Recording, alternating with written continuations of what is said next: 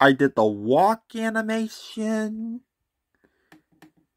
the jumping animation,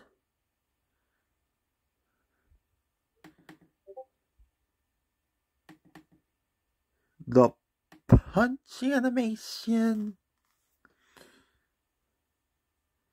and the the puppet the the puppet string animation. The string animations.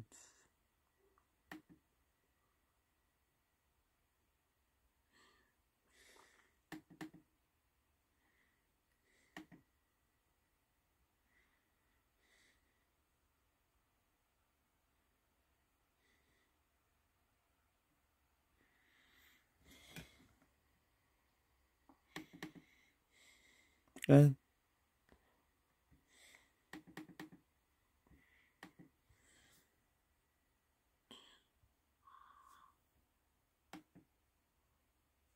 and the puppet string.